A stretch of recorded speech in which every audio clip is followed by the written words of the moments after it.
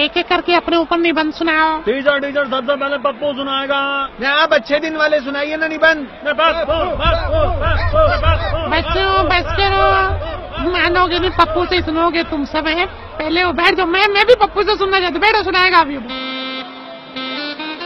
Ladies and gentleman आज मेरे लिए बहुत खुशी का दिन है क्योंकि आप सबके सामने पेश होगा मेरी लाइफ पे निबंध। मैं शहजादा हूँ। मैं राजकुमार हूँ। मैं आलू डाल के सोना निकालता हूँ। लेकिन मैं पप्पू नहीं हूँ। झूठा। आपके ऊपर लास्ट चुटकुला करवाया था। बताओ जरा। पिछले एक बरस में एक भी नहीं आया। अच्छा ठीक ठीक है। एक सुनाता हूँ चुटकुला बहुत चुनिंदा मेरे पास आया था व्हाट्सएप पे आपने कभी सुना भी नहीं होगा सुनिए। एक बार किसानों ने मेरी मम्मी को स्क्रीन पे दिख रही हैं। किसानों ने मेरी मम्मी को सौ सौ रुपए इकट्ठे करके दिए और कहा मैडम जी मुआवजा तो आपका भी बनता है फ़सल तो आपकी भी खराब निकली हमारी तरह. भाई सबको हँसी है चुटकुला बढ़िया था। आप नाम मतलब हद। अच्छा ये बताओ टोटल मीम्स कितनी बनी है तुम्हारे ऊपर इंटरनेट पे मीम्स बताओ। नॉन वेज गिनू या उनको अलग रख नहीं उनको अलग रखते हैं। तीन सौ आठ के आसपास बने होंगे। राउंड ऑफ़ करके साढ़े तीन सौ कर लेते हैं। इससे ज़्यादा नहीं बने होंगे। भाई सुन इधर। हाँ। बोल दे रोज के चालीस हज़ार चुटकुले बनते हैं मेरे पे। दुनिया पप्पू बोलेगी मुझे। वो तो अभी भी बोल रहे हैं। I am not a Pappu. I वैसे हूँ तो लेकिन किसकी वजह से मैं बताता हूँ?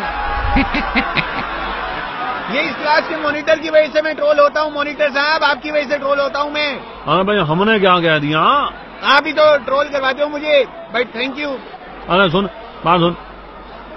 पहले वहाँ पहले वहाँ पे तूने हगा अब मुझे हग कर रहा है। डीओ कौन सा लगाया? खुशबू अच्छी आ रही है। थैंक यू हमको भी चुटकुला सुनाना पप्पू आप पे सुना लो एक एक करके चुटकुला सुना लो आराम से हाँ एक एक करके सुनाओ। हाँ भाई साहब पहले आप सुनाओ चुटकुला।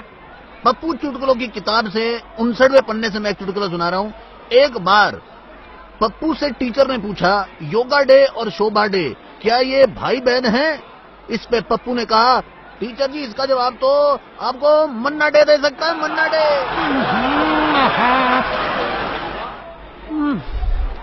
अब एक मोदी जी सुनाएँगे।